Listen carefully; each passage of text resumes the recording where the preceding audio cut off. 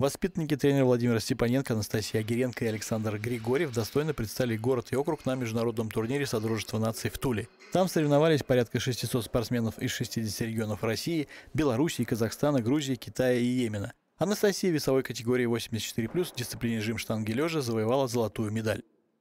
Результат хороший. Здесь я абсолютно стала чемпионкой среди там 16 человек, там обыграла всех этих своих соперника или сверстника, как сказать. Она выступала в одной дисциплине, я ее заявлял в двух дисциплинах, в троеборе среди женщин.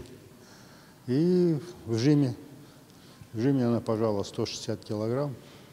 Это выше мастера, сейчас скажу, на 15 килограмм. Хотели международника там поднять, 172.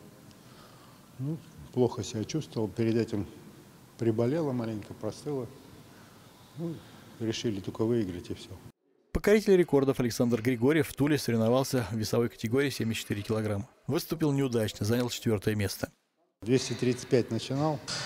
Первый подход смазал там, я в шоке был. Второй, на третьем уже как палку пожал и говорю, ну вот видишь, отдал призовое место. То там у него помост поехал, то майка, что-то.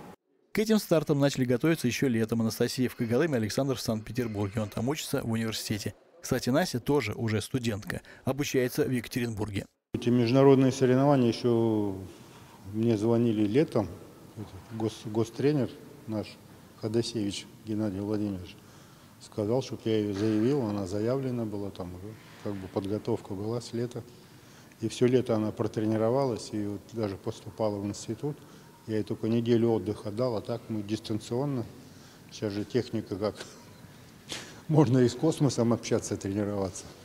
Сейчас атлеты готовятся к первенству России. Оно пройдет в феврале 2023 года в Ноябрьске.